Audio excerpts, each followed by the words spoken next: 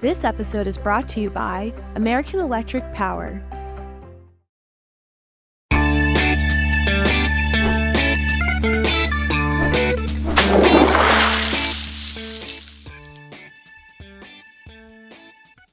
Hey Explorers, welcome back to another exciting episode of Get Schooled. I'm Miss Danielle, and today we're going to be taking a deep dive into the world of hydroelectricity. Have you ever found yourself splashing around in a creek or watching as the stream flowed by? Imagine all that energy, all that power being used to light up homes and businesses in your neighborhood. That's exactly what we're going to be looking at today at the Smith Mountain Lake Dam. Before we join Daniel James at the hydroelectric dam, let's think about something that we all know about, water. Water can be used to play, to clean, to drink, and now we're gonna learn about how it can be used to make hydroelectricity for our communities to use. Are you ready for an adventure? Hey Daniel, we were just talking about you. Hi explorers, welcome back to another episode of Get Schooled. I'm Daniel James, and today you'd think we're gonna learn about wind power, but we're actually learning about water power and how this dam, the Smith Mountain Dam, which looks like a giant water slide, actually helps make our planet a little bit healthier. And we're gonna learn more about how we use that water power to magically light up our homes in the neighborhood. And I have a friend here who's gonna explain a lot more about it. So let's go.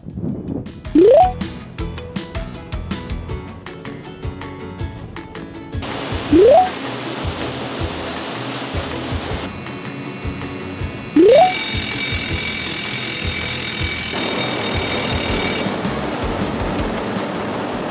explorers, I'm here with my friend George. George, thanks so much for helping us explore today. Thank you for coming to Smith Mountain Dam. We're excited to show you guys how this giant water slide works.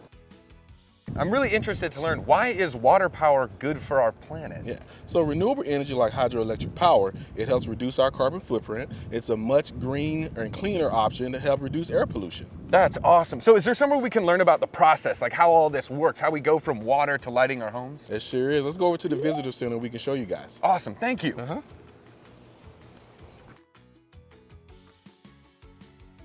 So the first thing we have to look at is the resources. For us, it's Roanoke River that provides water into the Smith Mountain Lake that helps us produce the power here. Okay, so this is all part of the water cycle, so that's what makes it renewable. The water falls into the river and into the lake, and that's what comes to the dam. Exactly. So we use Smith Mountain Lake as our main source of power, and the most important thing about Smith Mountain Lake is that it's all man-made. So this is something I can do in my backyard? I can make my own dam? Don't know about that, but we can show you how it works. We have models. That would be perfect. So we're gonna learn how it goes from being water into lighting homes. Exactly. Okay, so can you tell me, what are we looking at here? Yeah, so this is a model of the Smith Mountain Project. So essentially what happens is water starts in the Smith Mountain Lake, comes down through our penstock, goes through our turbine, and that's where power is generated. Then the water goes into Leesville Lake. So this right here, that's where power is being generated because that's spinning around and creating electricity. Yes, that is the main source right there. So when do we get to use the giant water slide? Again, not a water slide, it's called a spillway, and it helps us prevent flood control downstream.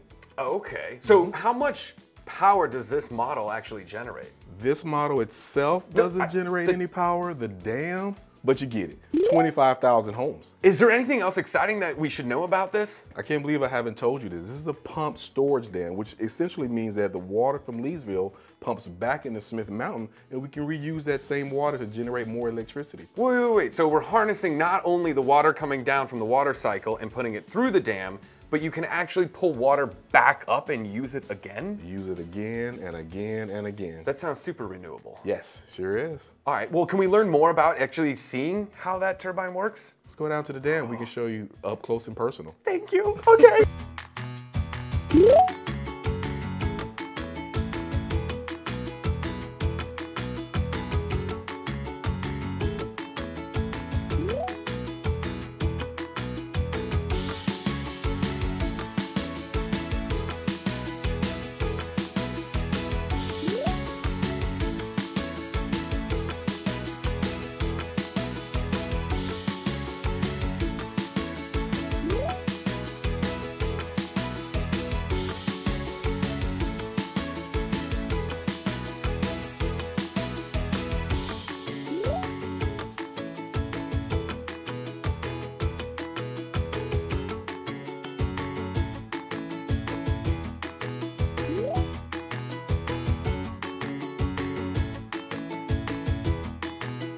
So are we actually, this is inside the dam now? Yeah, we're inside the dam and we're standing in front of one of the five generating turbine units here. And all five of our units can actually generate power. So how much water actually comes through one of these? Every second is about 46,000 cubic feet of water that goes out of our dam.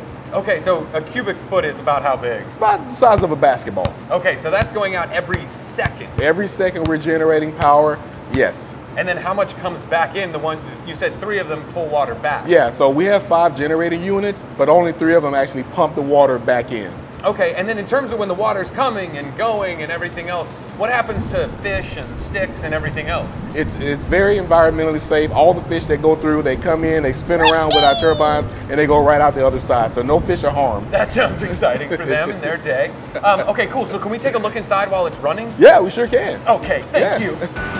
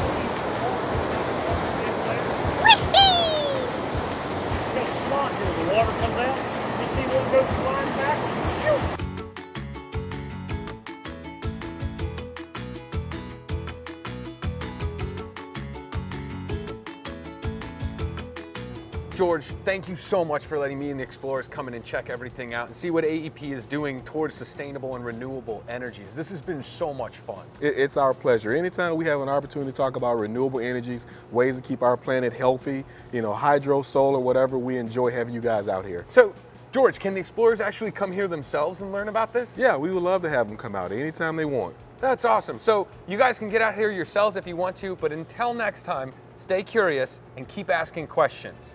Bye.